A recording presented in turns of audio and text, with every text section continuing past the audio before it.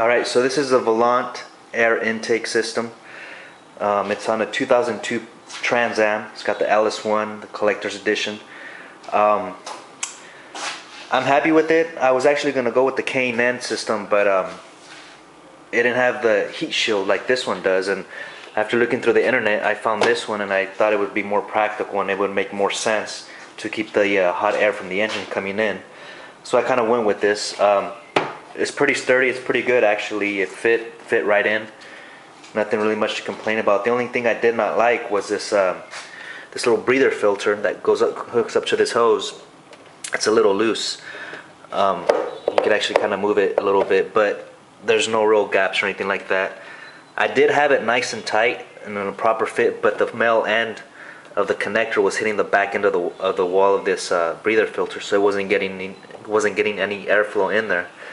So what I did, I just kind of loosened it up, pulled it back a little bit, and tightened it up, and that's the only way it gets air. But other than that, it's pretty good. It's actually pretty sturdy. Um, nothing, nothing, nothing crazy. Um, when you do order this, if you do decide to order this, make sure it comes with everything. Uh, I never got these this bracket here and this other mounting bracket here. So it took me like another two weeks before I could even install it. I actually had to call Volant and speak to the uh, shipping department so I can. They sent me a bunch of stupid other stuff that I really didn't need. But other than that, it's okay. Um, one other thing, the uh, this little harmonica-looking um, connector, this rubber piece here, it bends kind of maybe a little bit too much. Doesn't look that good, but it works, and it actually works real good though.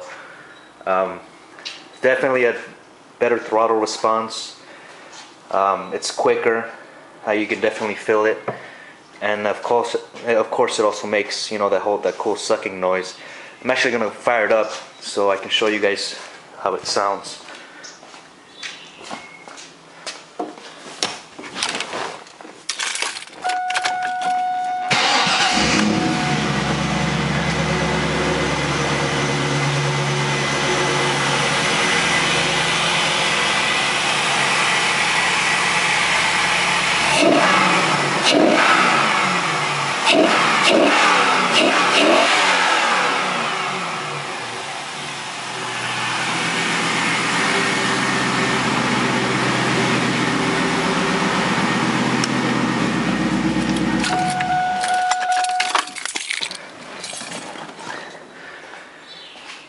So that's it. I, I think you can hear the, uh, the sucking sound and stuff. And um, like I said, a, better response, um, you know, faster uh, faster takeoff and stuff like that. I mean, it's, it's noticeable. It's nothing crazy. You know, you're not going to get a totally different car, but it's something that it's noticeable and it's actually, you know, something really simple that you can do for, you know, getting a few more horsepower and stuff.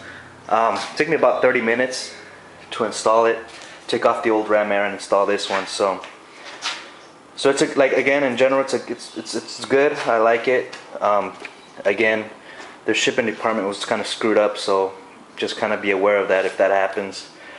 But um, so yeah, uh, let me guys let me know what you guys think, and uh, if you guys have any questions, just feel free.